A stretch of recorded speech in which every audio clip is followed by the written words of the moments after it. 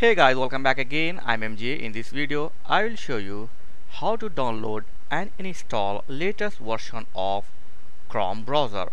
Many people use Chrome stand alone exe file and many of them use Chrome offline installer but if you install the offline and stand alone it will create some problem like crashing update problem Adobe problem all these things so we need to download the latest version from the Google itself. So open your Edge browser or if, you have Firefox you can use this.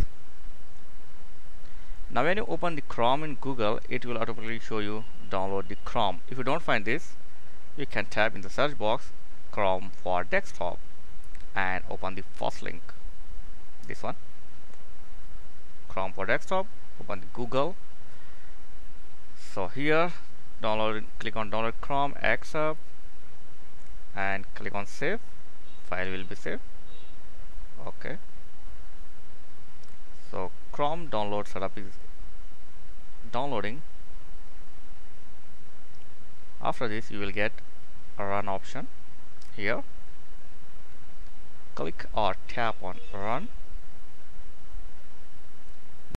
now your job is done. Relax sit down or do any other work. It will take some time to download and install Chrome browser.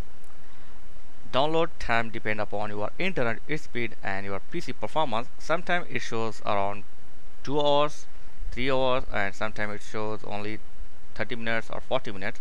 So ignore this all these things. Just let it to do its job. So it's going yeah I will fast forward this video because I don't want to you feel bored.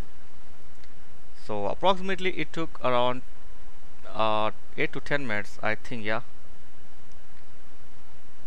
So you can do other work just minimize this thing and use your PC so it's nearing I think.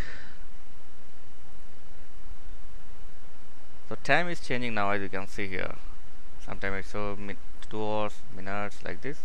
Okay done it's successfully installed. Now I'm going to check whether I, I have latest version or not. Okay.